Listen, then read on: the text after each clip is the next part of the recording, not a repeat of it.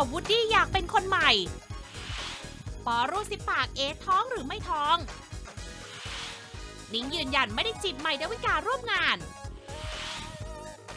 เมย์ไม่แคร์ถูกนินทาขายเสื้อผ้าลูก โรงหนังคุมเข้มรับ Spectre สนับสนุนข่าวบันเทิงโดย เครื่องสำอางชีเน่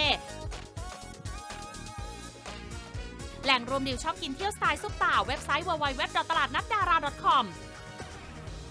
Corolla Altis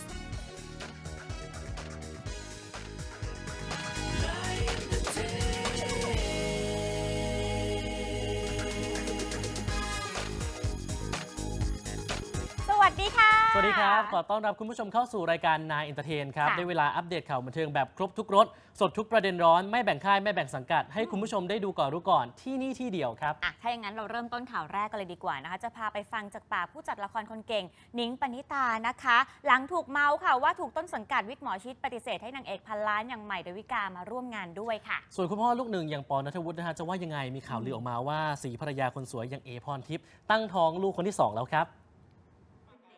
หลังมีข่าวลือว่าภรรยาคนสวยเอพรทิพย์กำลังตั้งครรภ์ลูกคนที่สองแต่ล่าสุดสามีปอนนัทวุฒิที่แม้จะเก็บสีหน้าแห่งความดีใจไว้ไม่มิด แต่กลับขอปิดปากไม่พร้อมบอกข่าวดี โดยยอมรับว่าถือเคล็ด และจะบอกข่าวให้ทราบทั่วกันหลังวันที่ 6 ตุลาคมนี้ เพราะอยากเช็คสุขภาพของสีภรรยาให้แน่ใจซะก่อน แต่แอบแย้มเบาๆว่า ตอนนี้ภรรยารูปร่างอวบขึ้นและมีอาการอาเจียน ทั้งยังอยากทานอาหารที่ไม่เคยทานมาก่อนอีกด้วย จนหนุ่มปอต้องคอยดูแลเป็นพิเศษเลยละค่ะจริงๆเราก็ถือเคล็ดนะครับเอาง่ายๆเลย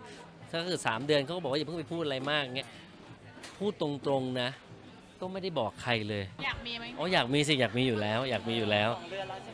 ไม่รู้ไม่รู้ไม่รู้ตามใจดิตามใจตามใจตามใจครับ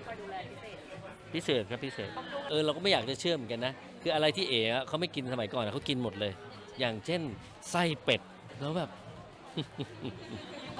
บอกแล้วอย่าท้า